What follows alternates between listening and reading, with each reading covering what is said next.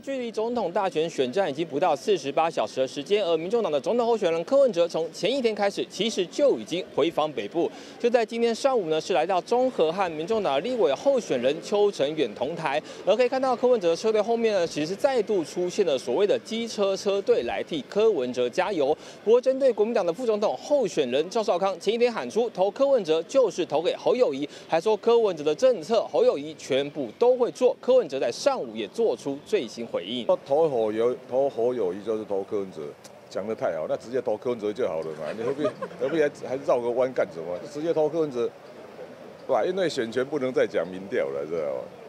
其实其实我们大家都知道啊，他直接投柯文哲就问题就解决了，你你投，这样不好意思，投侯友谊。会达到很多目的的。好，不过针对呢前总统马英九接接受外媒采访的时候呢，居然是语出惊人，表示呢说希望台湾民众还是要来相信中国的国家主席习近平。柯文哲也做出最新回应。关于两岸关系就八个字嘛，台湾自主，两岸和平嘛。我请注意啊，顺序要对啊，台湾自主，两岸和平啊。所以我每次说，我还是要靠，就是不，你说要相信谁？要相信自己。更重要的是要。